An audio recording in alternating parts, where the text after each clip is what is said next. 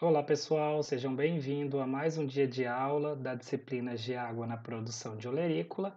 Essa disciplina é ofertada pelo curso de formação inicial continuada em produtor de olerícola. Eu é, estarei hoje dando sequência né, à nossa última parte aí da aula 3, que tem pelo nome método de irrigação, certo?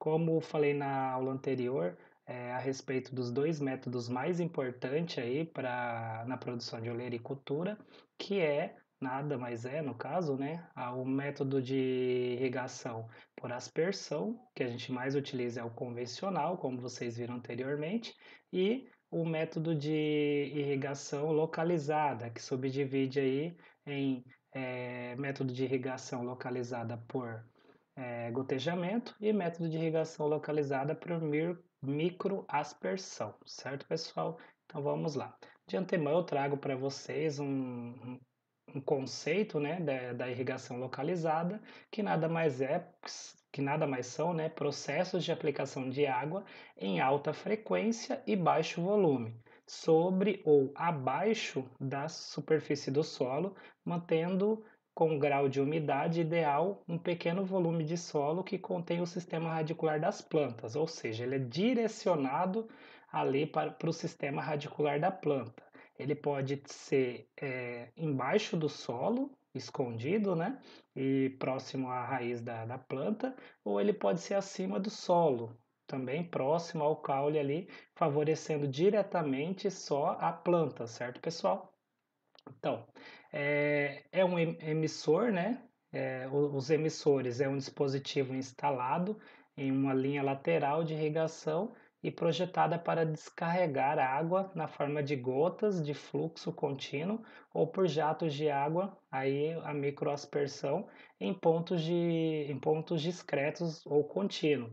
Ou seja, a irrigação localizada ela é, possui uma frequência ela é de longa frequência, né?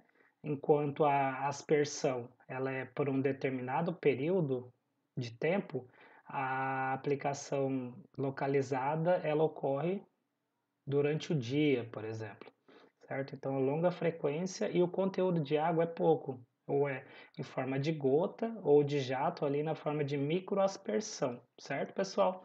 E aí o emissor é quem vai é, dar sequência aí na, no movimento da água, né? A saída da água da tubulação, certo? Que aí eu mostro para vocês um emissor é, de uma tubulação aí de, de irrigação por localização. Essa irrigação ela é enterrada, né? Então, essa região aqui embaixo, ó, pessoal, essa região aqui embaixo, é, é, esse é um tubo de emissor que vai liberar água nessa região próxima à raiz aqui, certo, pessoal? Então, é, a gente fala que é uma irrigação localizada é, subterrânea ou de subsuperfície. A gente tem também é, a por gotejamento, como por exemplo aparece aqui, né, no, nessa foto, né? Ela é também direcionada, aqui é próximo ao caule, à raiz, e aqui tem um, um emissor que ajuda aí na movimentação da água e um buraco onde vai é, sair essa água de forma de gotejamento, né? E aí durante o período de dia tal, essa região sempre vai ficar úmida. E por fim a microaspersão, que funciona como tubulação, só que em vez de deixar aqui é, um, por gotejamento, nesse é, orifício que tem aqui na tubulação é colocado um, um engate que ele dá sequência à tubulação e vai levar até um microaspersor, como se fosse um aspersor, é, só que em tamanho menor, e ele pulveriza a água da região, né? Na, na, nas olerícolas com gotículas bem menores do que a dos aspersores normal. Aqui é o exemplo, certo, pessoal? Então vamos lá.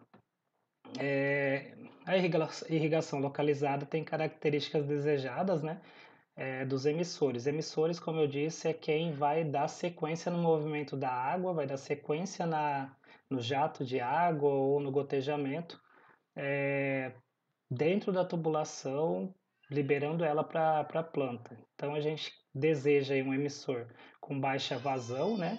Porque é, como a, a liberação é contínua, né, da, da água, é, a frequência é maior, então a vazão tem que ser menor, porque aí vai ter tipo conta-gotas mesmo, vai liberar água, uma gota a cada, por exemplo, um chute aqui de, de uma produção de, de frutíferas, de manga. A cada ali é, um minuto libera uma gota de água, entende? Mais ou menos nesse sentido, certo, pessoal? Então, baixa vazão e, pou, é, e pouco ou não sensível à variação de pressão. Então, não tem variação de pressão ali no sistema. É, baixa variação de fabricação, ou seja, a, é mais fácil de encontrar materiais assim, né? Porque dentro, no, no comércio, no mercado, não tem muita variação entre os materiais é, a resistência à ação química e do meio ambiente. Então, é, a gente é, procura, deseja um emissor resistente à ação química e do ambiente, devido ali à salinização da água, né, que pode ocorrer ali na tubulação, certo? O corremento, o, é, a perda ali, né, da, da, desse material através da ação de, de do ação química mesmo, né? A corrosão ali, por exemplo. A estabilidade de vazão e pressão ao longo do tempo. Então, você deseja um emissor que seja menos estável, né? E baixa sensibilidade às variações de temperatura. Certo, pessoal? Baixa perda de carga localizada no sistema de conexão ou acoplamento emissor lateral. Certo. É, os pontos a serem levados né, em consideração para a escolha de, desse método de irrigação. Então, você tem que levar em consideração as características físicas do solo, né, como eu disse lá na relação solo-planta-atmosfera, que é a característica física do solo, é, ela que vai determinar ali a capacidade desse solo de reter água, de liberar água para o sistema radicular, enfim, certo? Temos também a qualidade e volume da água. Então, a qualidade da água, essa água tem que ter é, nutrientes, minerais que atendam à necessidade da planta, né? E o volume da água é a quantidade de água disponível naquele, naquela certa localidade. Geralmente, essa água ou ela vem do lençol freático, ou ela vem de lagoas, tanques, rios ou tanques artificiais, certo, pessoal? Então, a gente tem uma vazão, a gente quer, né, um sistema considerado ótimo para a irrigação localizada, a gente tem que ter uma vazão disponível para irrigação, ou seja, tem que ter água que atenda aí às necessidades aí da, da nossa olerícola. É, a vazão do emissor, ela, a gente tem que levar em consideração também, né, que quantidade de vazão que está sendo liberada ali para para as olerícolas, em que quantidade de tempo, né? Tem que ser tudo cronometrado, a topografia da área irrigar, né? Se é uma área mais plana, se ela é ondulada, se o terreno ele é de morro abaixo ou de morro acima, isso levando em consideração o nosso reservatório, certo, pessoal? Reservatório de água. E por fim, o volume do solo molhado, né? que a gente tem que levar em consideração. A gente quer molhar que volume de solo? Aquele ali que está na rizosfera, próximo à raiz das nossas olerícolas. Geralmente, a irrigação localizada é mais utilizada em solonáceas, cucurbitáceas, que ela é direcionada, né? Tipo isso por gotejamento. A de microaspersão já, já é mais utilizada a, a, a folhosas, né? Certo? Então vamos lá, a gente trago para vocês aqui as vantagens e desvantagens desse método de irrigação.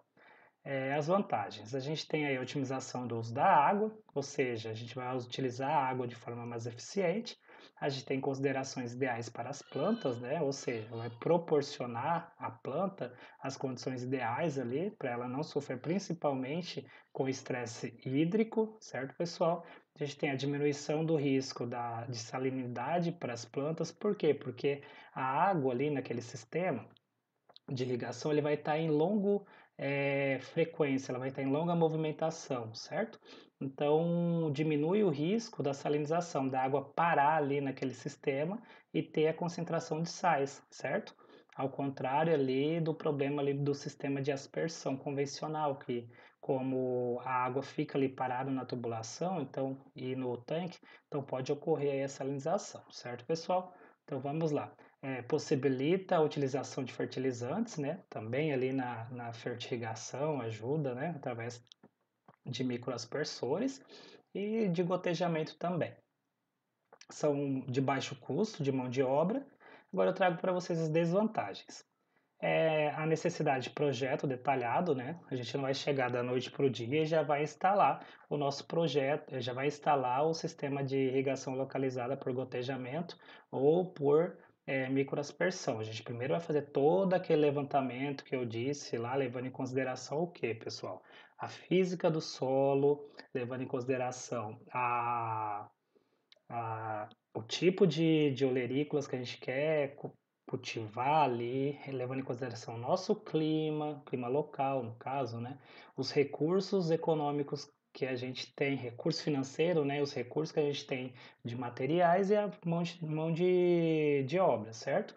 Então a gente precisa aí, antes de mais nada, de um projeto muito bem detalhado para implementação desse sistema, certo?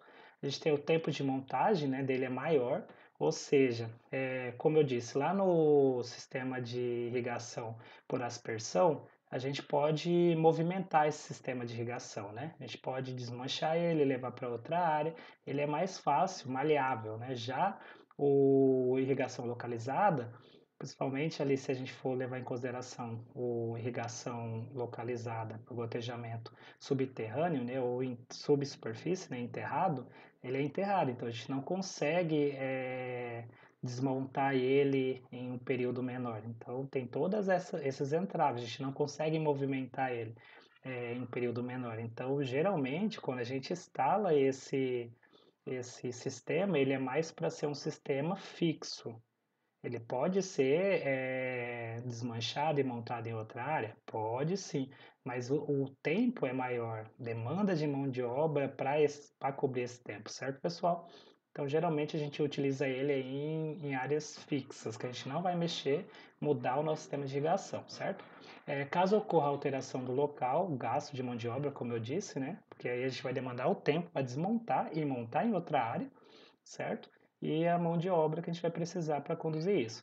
Necessidade de filtrar, de filtragem adequada, a qualidade da água e modelo de emissor. Então a gente tem que levar tudo em consideração. A qualidade da água, ela tem que estar, tá, a água tem que estar tá, é, pura disponível, né? É, sem fitoplâncton, sem algas, é, ela tem que estar tá limpa, né? Acima de tudo, para ser distribuída. E o emissor lá, o modelo do emissor, ele vai contar muito. Então a gente leva em consideração se ele é um microaspersor ou se ele é um emissor ali que tá que já vem ali na fábrica, né? Que a gente vai mostrar a seguir é, instalado dentro da mangueira ou ele vem para engatar na mangueira. Então a gente tem vários modelos e é, é, interessante a gente observar. Essa é a desvantagem, certo? Então a gente tem que levar muito em consideração aí a filtragem dessa água, certo? Então vamos lá, pessoal. É, irrigação por gotejamento. Vocês viram como funciona, né? Aqui eu trago para vocês uma imagem, uma fotografia de, de uma bananeira, onde a gente tem um condutor principal aqui, né? Condutor principal. E aqui a gente tem um círculo de sai um, uma ramificação, né? Uma linha lateral dele, onde ela é formada um círculo que a gente tem vários micro é, emissores aqui. A gente tem um emissor, dois emissor, três emissor, quatro emissor, cinco emissor, seis emissores aqui que vão estar tá gotejando água para essa bananeira de forma praticamente contínua, certo, pessoal? Então, é, por gotejamento, a gente tem também gotejamento enterrado ou coberto, como eu disse para vocês. Aí eu trouxe a abertura aqui de uma trincheira, né, onde tem o sistema de irrigação, que é na produção de café. É onde tem o sistema de irrigação é, enterrado e aqui tem um, um orifício, né, uma vazão, onde vaza a água desse sistema é, de tubulação que venha beneficiar a produção aqui, as raízes, o sistema radicular aqui dessa produção, certo, pessoal? E por fim, a gente tem microaspersores, por exemplo, aqui na produção de cebolinha e de algumas é, solanáceas, certo? é, a gente tem o, a tubulação principal e aqui temos os orifícios onde tem o engate, que a gente coloca os microaspersores, a mangueirinha dos microaspersores, e aí a gente dimensiona aqui é, o espaçamento entre eles para molhar a, a nossa plantação, nossa olerícola, certo pessoal? Então, agora eu vou trazer para vocês como é formulado, né, como é formado aí o projeto, né, básico desse sistema de irrigação por gotejamento. Então, é, é, a gente tem aqui o principal, né? Lembrando, pessoal, perdão, lembrando que antes de mais nada, a gente tem aquele sistema de motobomba que eu falei lá atrás no sistema de aspersão, certo? Ele é utilizado aqui também. É, é utilizado para bombear água para o nosso sistema lá, para tubulação, liberar para as nossas olerícolas. Ele é também utilizado, mas o que é mais utilizado é por gravidade nesse sistema de gotejamento. No de asper, microaspersão a gente utiliza também é, mais o, o de motobomba, lá, o conjunto de motobomba, para bombear essa água até a nossa, a nossa olerícula, produção de olerícula. Então a gente tem a tubulação, que ela é, é principal aqui tanto para sistema de irrigação localizada por gotejamento quanto de microaspersão. Para microaspersão, é, essa tubulação, ela vem, quer dizer, para gotejamento, essa tubulação, ela já pode vir com emissor é, dentro da mangueira, de a cada desse tubo, né, a cada, por exemplo, 100 centímetros vem um emissor ou coisa do tipo, ou ela pode vir sem você conectar os emissores ou fazer um furo para colocar os aspersores, certo, pessoal? Então, isso vai depender lá de onde você for comprar, da sua marca é, comercial. Então, vamos lá. Eu trago aqui para vocês é, produtos de irrigação localizados por gotejamento.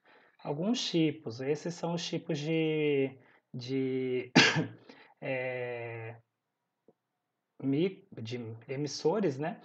É, por gotejamento, que a gente tem aqui os não compensados, que eles são é, formado aí de uma única só de um único só material, né? É, essas saídas aqui por fora é para dar movimentação na água e para ajudar na condução e no controle de, da quantidade de água a ser saída, né? Então a gente tem ele em forma de tubo, de, de tubo, né? E a gente tem ele na forma é, retangular, fina, de pastilha, né? Que fala, mas no formato de uma pastilha e ele tem a mesma coisa. A diferença desse para esse, dos não compensados e compensado, é compensado ele vem com dois tipos de material. Por exemplo, aqui fora tem um material e aqui dentro tem outro que ajuda aí na movimentação da água. Aqui mesma coisa, a gente tem é, é, mais visível né, a coloração vermelha e a coloração preta. Enfim, Certo, pessoal? Então, esses são os tipos de emissores de gotejamento. Eles que vão dar sequência aí na movimentação da água e vão ajudar na vazão da nossa água para a olerícula, certo? Aí eu trago para vocês aqui como que funciona né, esse tubo gotejador. Por exemplo, aqui é aquela mangueira, a gente pode furar a mangueira, ou ela já vem com esse tubo, né? Vem no tubo, da, na mangueira, ela já vem com, com o emissor aqui, e aí ocorre, é, já vem com esse furo, então a água vai é, se movimentar aqui dentro desse tubo, dentro da mangueira, e vai ser liberada aqui conforme a sua vazão. Aqui é uma formação mais rústica, né, onde você pega a mangueira e você faz, vai lá e faz um, um furo do tamanho de uma vazão que você é, deseja e aí a água vai passar por aqui e vai gotejar, certo? Isso daqui são os outros tipos de emissores que a gente pode conectar, por exemplo, pegar esse conector aqui, emissor, conectar aqui e conectar a outra mangueira, que aí ele vai é, emitir a água aqui através do gotejamento, certo? Então, existem várias formas. Tem lá aquela, aquele rolo que não vem com isso daqui, né? Pode vir, você pode pedir, mas para dimensionamento, por causa de, de, de que tem uma aproximação maior e a gente pode não ter no mercado, aí para facilitar a sua vida, você pega esses emissores, compra ele, né, de acordo com o tamanho da sua vazão, e vai, pega aquelas mangueiras, engata uma ponta aqui e a outra ponta aqui, e ele vai é, ajudar aí na, na, na emissão da água né, para a olerícula, certo? Aí eu trago aqui para vocês é, o tipo de irrigação localizada por microaspersor, que é parte do mesmo sistema, sistemática lá, a gente tem a tubulação né, de, de PVC geralmente, e aí a gente tem uma mangueirinha aqui do microaspersor, aqui é um microaspersor que a gente chama isso de bailarina, que a hora que a água vem com a sua pressão aqui, ele vai bater nessa borboletinha aqui e aí vai jogar água para toda a, aquela aquela circunferência ali em volta, certo? É, então, at através da pressão da água. E nisso, não tem aquele buraquinho que você pode fazer na mangueira que eu disse? Tem um plugzinho, que, esse plugzinho aqui, por exemplo, que você pega, engata aqui, e aqui está a sua mangueira, né? Aí a água vai passar por aqui e vai sair até o seu microaspersor e ele vai utilizar a sua bailarina, como aqui né, na, nessa foto, para é, distribuir a água no sistema de irrigação, certo, pessoal? Então, é, a gente tem vários tipos, né, como eu, vocês estão vendo aqui, desde é, bailarina triangular, quadrada, redonda, enfim. E essa haste aqui, geralmente, ela é para deixar o nosso asper, o microaspersor em pé, porque essa mangueira ela não é autossustentável. Tipo, ela não sustenta o peso da, do microaspersor, então ele pode cair, molhar só uma área. Então ela vem para fixar o microaspersor no chão, ali no solo, ou na sua bancada, né? E aí é, ajudar aí no seu dimensionamento aí da, da irrigação, certo? Aqui é um exemplo de quatro saídas, né? Que vocês vão ver na próxima imagem que aqui quatro saídas que vai ser fixado ali também no, no furo ali da, no orifício da, da sua tubulação e vem as mangueirinhas aqui que dá para você molhar quatro vasos enfim ou dois ou só um. Então tem vários tipos de, de material que pode ser utilizado aí na, na irrigação é localizada por aspersão ou gotejamento certo nesse caso ali a gente utiliza ele geralmente para gotejamento. Esse aqui é, tem a saída de 4, de 3, aí nos nossos vasos. Então eu vou trazer para vocês aqui algumas etapas, né, que a gente, alguns materiais que a gente utiliza até chegar lá na, na irrigação localizada. Então aqui a gente tem materiais, né, a gente tem é, o engate 1, engate 2, engate 3, para montar aqui os nossos, nosso sistema e vai indo, ó, 1, 2, 3, 4, 5, 6, aqui é até chegar na mangueira, né?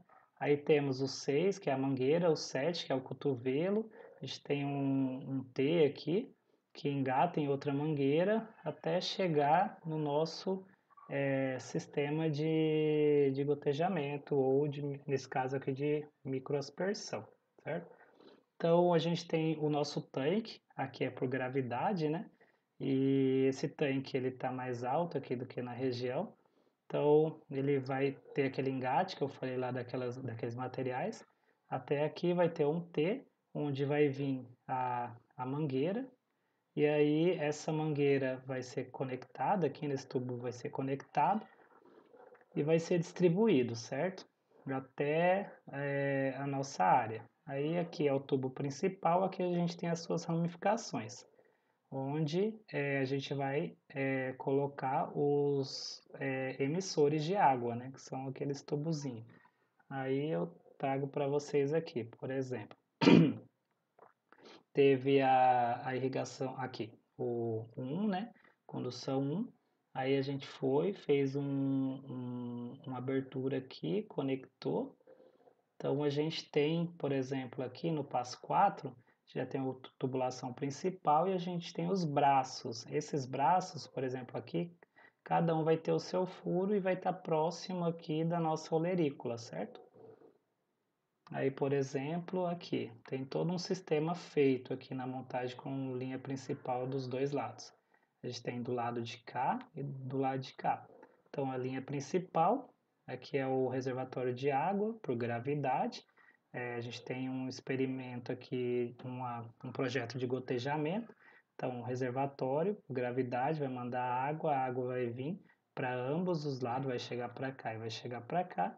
e ela vai ser redistribuída aqui nas linhas laterais, onde em cada próximo dessas, dessas plantinhas, das olerícolas, vai ter aqueles, aqueles é, emissores ou os microaspersores para irrigar aqui, certo pessoal? Então, é, montagem principal do sistema de irrigação a gente tem, como vocês estão vendo, e para finalizar, pessoal, eu trago algumas considerações, certo? Vocês viram que os, é, os principais métodos utilizados no sistema de irrigação são, é, de olerícolas são métodos de aspersão convencional, certo? Que é, ou seja, que é um, uma emissão de água controlada por um determinado tempo, simulando a chuva, certo? E aí a gente tem o método de irrigação localizada, que é dividida em gotejamento ou microaspersão, que é uma forma de irrigação mais contínua. Por exemplo, principalmente a, a micro a, a método de irrigação localizada de gotejamento, certo? Então a gente tem esses dois tipos mais utilizados aí no sistema de irrigação. Então, gente, entender quais são os métodos que a gente vai utilizar é de extrema importância, né? A irrigação é uma forma mais eficiente de suprir a demanda hídrica das olerícolas, a gente tem ciência disso, que a gente entendeu lá no início, né? E essas são as duas formas mais utilizadas na produção de olerícola, certo? É, conhecer o método utilizado é de extrema importância, como eu disse. O sistema de irrigação por aspersão é mais utilizado para a produção de folhosas, já o é, por gotejamento é mais utilizado para a produção de plantas frutíferas, né? de tubérculos, de é, plantas rasteiras e ou trepadeiras. Então, é, essa é a utilização, né? finalidade de cada esse método de irrigação, certo? Então leve em consideração isso, que a gente tem os dois métodos mais utilizados e que a gente precisa entender esses métodos para e conhecer a nossa olerícola para ver qual método que a gente vai utilizar no nosso sistema de irrigação, certo? Que a gente tem levar em consideração a física do solo, o clima do local, a topografia do local, os recursos que a gente tem, a mão de obra que a gente tem e o poder econômico, né? Se a gente desprende disso. Então, pessoal, aí qualquer dúvida pode me procurar, pode procurar o Arthur, que é o tutor de vocês. Me coloco à disposição, espero ter contribuído aí para a formação de vocês e qualquer retorno é bem-vindo, viu? Mais abraço para vocês. Não esqueçam de fazer as atividades, é, atividade né, de, dessas aulas e o fórum dessas aulas. Aí esperamos vocês semana que vem para finalizarmos a disciplina com a, a parte de fertirrigação, uma parte muito importante, e é, apresentar a prova final para vocês. No mais, é, além do fórum da, da última semana. No mais, muito obrigado, abraço a todos, cuidem dos seus e cuidem de vocês. Fiquem com Deus.